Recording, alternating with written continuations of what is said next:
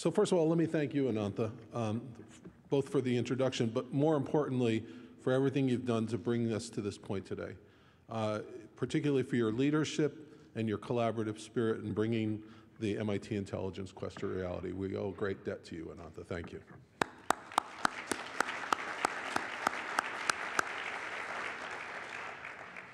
My principal responsibility this morning is to introduce our next speaker. David Siegel is a computer scientist, entrepreneur, and philanthropist. He co founded Two Sigma Investments, where he currently serves as co chairman. David received his undergraduate degree from Princeton and his PhD from MIT, where he conducted his doctoral work in the Artificial Intelligence Laboratory. In 2001, he co founded Two Sigma on the belief that innovative technology and data science could help discover value in the world's data. Today, through the use of algorithms with its unique culture, Two Sigma drives transformation in many industries, including investment management and insurance. As of 2018, the firm manages over $52 billion in assets with more than 1,400 employees across offices in New York, Houston, London, Hong Kong, and Tokyo. David's philanthropic efforts underscore his conviction that education, science, and technology are keys to a better world.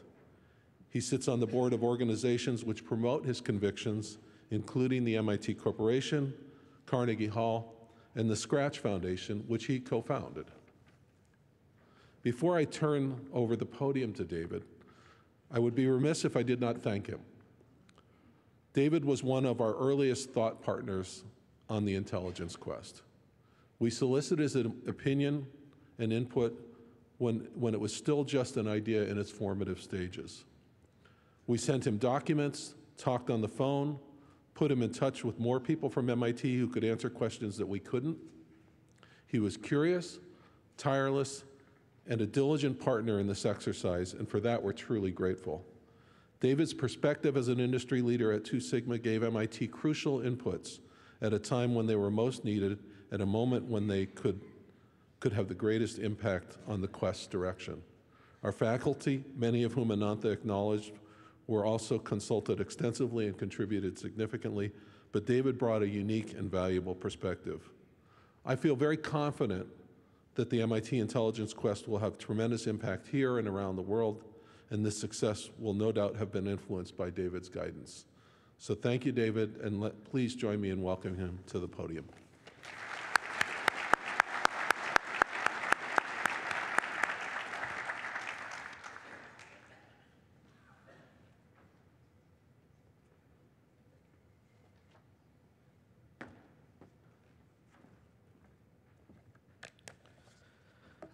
Good morning, and uh, First, let me thank you, Marty, for those remarkably kind words. Uh, uh, I really very much appreciate uh, uh, uh, the introduction, and I have to reciprocate and tell you how wonderful it was working with the entire team putting together the MIT IQ project. For me, it was nothing but a total pleasure. And I want to thank you all for being here on such an incredible day, the launch of MIT IQ.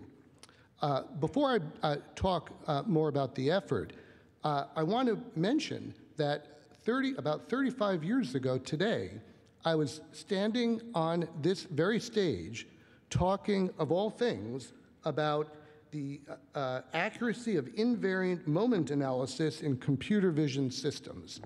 I was a sophomore, uh, junior at Princeton, and I had a paper accepted at an ASME conference, which was being held right here in Kresge Auditorium. And uh, uh, it was the very first conference talk that I ever gave. And the stage is actually no different. What I remember most about when I gave that talk was number one, the bright lights would shine right in your face, and you can't see anyone in the auditorium. And number two, it's an awfully big room filled with you know, very, very smart people, which is actually quite intimidating. So my first conference talk you know, scared me incredibly. And I have to tell you, I don't feel really any different today. but in any case, it is great to be back here uh, once again talking about intelligence, artificial and natural. I believe that nothing in the universe is, in the end, more complex than the human mind. From the start of our history, we have been trying to grasp how the mind gives rise to intelligence. This is not a new question. We do this and we think about this for the very same reasons that we think about the origins of our universe and why we want to understand uh, where all of, all of this came from. It is an equally important question to understand where our mind has come from. Great thinkers through the ages have wrestled with this question. Plato, Descartes, Kant, and the like used philosophy as a starting point. Uh, others pursued a more spiritual approach. In modern times, psychologists and cognitive neuroscientists have applied the tools of the scientific method to understanding the problem of the mind. At the dawn of the computing age, computer scientists immediately, it was one of the first things that computer scientists became interested in, saw the potential for creating artificial intelligence. The field is as new or even predates computing. MIT was one of the pioneering institutions in establishing this field. Advances in AI, like deep learning, have produced remarkably significant breakthroughs. These approaches are phenomenally adept at finding patterns in large data sets and then applying them in useful ways.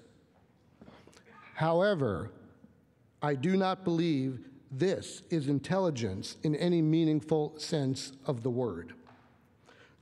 Neural networks have interesting and important applications, but they still far, fall far short of the human mind's ability to think. Deep learning can identify faces better than a parent. Remarkable. But we still can't replicate the way a child learns. There are so many basic questions about intelligence that we just can't answer. And I believe that focusing too heavily on what has been called AI may actually be confusing things. For example, what do we really mean by artificial? How is artificial intelligence different from natural intelligence? Is there just one notion of intelligence that can be implemented in different ways? For all of our efforts to date, we have yet to crack the code of intelligence. We may have focused too narrowly on machine learning and AI, and AI, traditional AI approaches, in search of answers. That's, there's a good reason why this effort is not called MIT AIQ.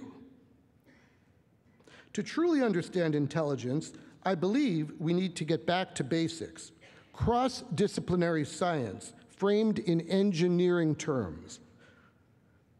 This is what we'll do in the MIT IQ core. By combining neuro, cognitive, and computer science, I believe we have the best hope of making the progress that we seek. And now is the time to embark on this mission. Significant advances are already being made at the MIT Center for Brains, Minds, and Machines, CSAIL, and elsewhere, both at the Institute and around the world. Industry is investing heavily in so called AI, but they are not so well equipped to make breakthroughs in, in fundamental questions of the science of intelligence. MIT is. And if we follow this course, I think at least some important answers are well within our reach. I be, believe we are likely to see breakthroughs that will help us build a better world. We will have a greater understanding of who we are and how we operate. And we'll understand the social and ethical implications of technology better so that we can help shape public policy. Of course, these are very ambitious goals, but MIT does very ambitious things. Speaking very personally, my interest in understanding intelligence goes back quite far, even before I was on the stage here 35 years ago. As for many people I've learned, it started when I saw the film 2001 A Space Odyssey for the first time as a very young kid. From then on, I had a real passion for building machines that could behave like humans. Later, I learned to program on a supercomputer when I was only about nine years old, 1970, in the basement of New York University, where my mom had received her PhD in mathematics. Ultimately, as some of you know, I arrived at the AI lab here at 545 Tech Square in, 1983. I was lucky enough to work in the presence of pioneers like Marvin Minsky and Seymour Papert. Incredible things were happening at the lab. Tech Square housed not only Minsky, but many other innovative teams. Collectively, they developed much of the computer technology that we use every day today. Project Mac was a precursor to distributed computing. The open source movement largely came from that building. Many of the building blocks of the internet were developed there. Of course, RSA encryption and the foundations of AI and robotics. At Tech Square, I was also one of the first recipients of the very first computer virus, the SendMail worm. For those of you who remember SendMail, by the way, you'll understand how hard it was to distinguish this worm from the constant bugs and glitches that normally plagued SendMail. I'll point out that the worm actually originated a mile down Mass Ave at Harvard. At the AI lab, I focused on the development of the Utah MIT dexterous hand. It served as a test bed for the design of control systems, tactile sensing, and other technologies. But what inspired me the most was the innovation happening in that building. It was a challenging and collaborative culture. It was a wellspring of scientific progress. I saw that a small group of unconventional thinkers, given the right environment, the right culture, could ultimately help to transform the world. Years later, I would use Tech Square's culture as a model for the company I co founded, Two Sigma. Tech Square taught me an awful lot about innovation. To innovate, you cannot have an overly constrained environment. You can't put time limits on the problem because that implies you already know the answer. That's one reason why it took me eight years to finish my PhD, and now would be an appropriate time to thank MIT for not kicking me out any sooner. Finally, you can't make progress in isolation.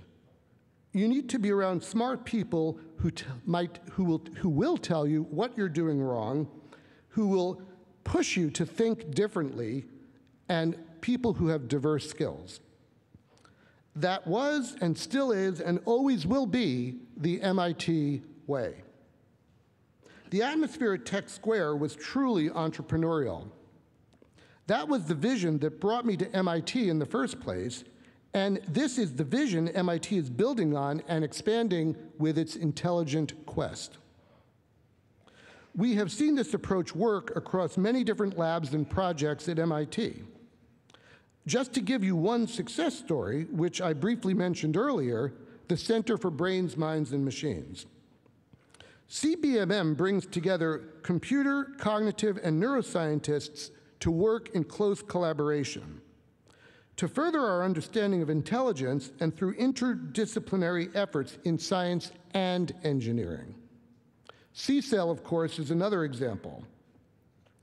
With its roots in LCS and the AI lab, CSAIL has leveraged deep fundamental research to deliver hundreds of innovative discoveries in computer science and artificial intelligence. MIT has been a leader in extending the benefits of cutting edge basic research into the world, in making sure that its research has real impact. Within IQ, the bridge will be poised to link research assets with state of the art AI tools throughout the university and beyond. Imagine a future where we can use a deeper grasp of the mind to build more intelligent and useful machines. Imagine a future where we use our new knowledge and our new technologies for the benefit of all, for the benefit of our nation and the benefit of the world. Truly understanding intelligence is, of course, a daunting task. But if there is a place to embark upon this quest, it is here at MIT, where 60 faculty and staff and 29 alumni have won the Nobel Prize. Five have won the Pulitzer Prize. 11 have won the Turing Award.